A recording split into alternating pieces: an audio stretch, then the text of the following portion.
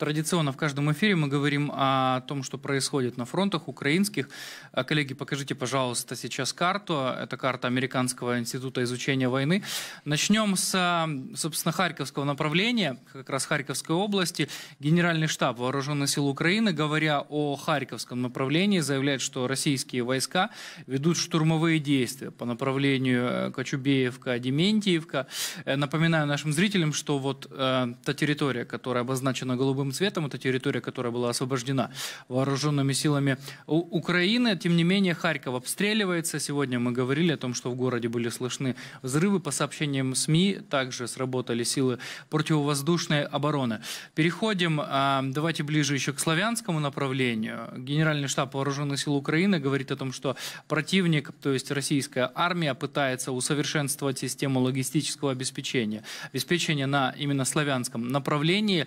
Также ранее ранее Американский институт изучения войны, эксперты Американского института изучения войны говорили о том, что Славянск это стратегический город для вооруженных сил Российской Федерации, и именно его в ближайшее время попытаются э, пойти в наступление как раз по славянскому направлению, попытаются э, оккупировать город российские войска. Естественно, ни о каком освобождении речи не идет, которое звучит в заявлениях э, пропагандистов Кремля.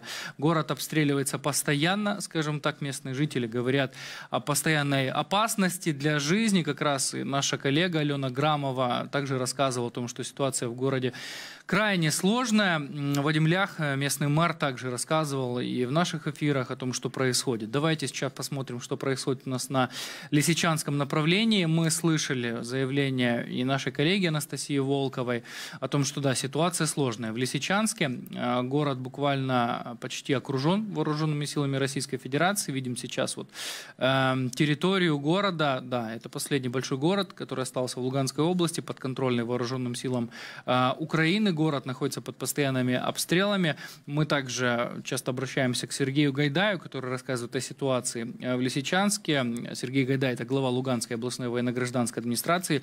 Сергей Владимирович говорит о том, что а, ситуация крайне сложная. Российские войска пытаются а, зайти в город, идут бои за Лисичанский нефтеперерабатывающий завод. Город обстреливается. Лисичанск – это высота, стратегическая высота для войск как Украины, так и войск Российской Федерации.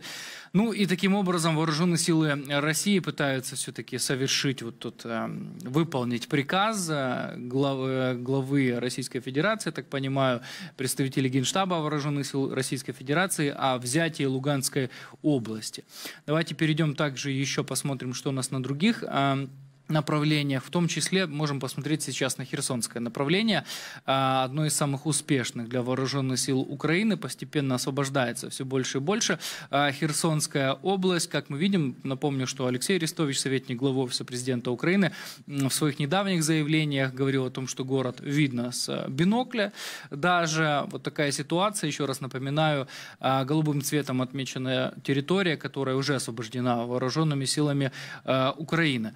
Ну и вот подобная ситуация, да, давайте покажем детальнее э, по пунктам, по населенным пунктам, которые освобождены вооруженными силами э, Украины и будут далее освобождаться. Напомню, что Кирилл, Дуба, э, Кирилл Буданов, начальник Главного управления разведки Министерства обороны Украины, говоря о сроках освобождения Херсона, заявлял примерно август Естественно, ситуация может меняться. Понятное дело, она зависит непосредственно от силы вооруженных сил Украины, от того вооружения, которое есть у Украины, насколько быстро и эффективно оно приходит в Украину. Но если говорить об эффективности, вооруженные силы Украины а, эффективно уничтожают э, точки вооруженных сил Российской Федерации силе в том числе, ну и, естественно, в технике. Еще одна точка, которой нет, если мне не изменяет память на этой карте, но она довольно стратегическая, и в последнее время о ней много говорят, это остров Змеиный.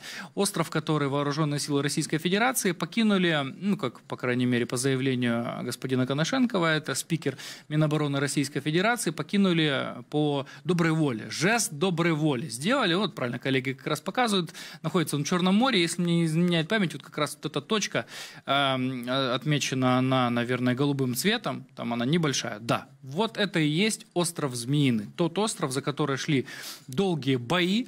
Вооруженные силы Украины смогли освободить остров от представителей российской армии, в том числе благодаря украинской разработке гаубицы Богдана.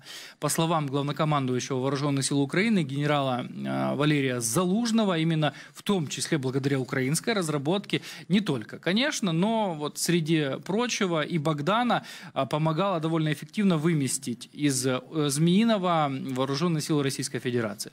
Добавлю также, мы сегодня уже об этом говорили, что российские войска обстреляли Змеиные с помощью фосфорных бомб но по своей доброй традиции э, даже в остров они не могут попасть. Попали в Черное море частично и частично обстреляли сам остров. Э, я так понимаю, отчитались уже в Минобороны Российской Федерации. Спасибо, коллеги. Вот как раз это видео, опубликовано оно главнокомандующим Вооруженных сил Украины генералом э, Валерием Залужным, также в, соци... в социальных сетях Вооруженных сил Украины оно было. Вот буквально на первых кадрах видно, как бомба одна из падает в Черное море скажем так, настолько, видимо, небольшой э, участок э, суши, что даже по нему попасть тяжело вооруженным силам Российской Федерации. Мы знаем, что точность это точно не про вооруженные силы э, России, скажем так. Точка стратегическая, пока что живая сила украинской армии не занимает ее. Я ну, думаю, понятно почему, потому что будут продолжаться обстрелы вооруженных сил Российской Федерации острова Змеиный.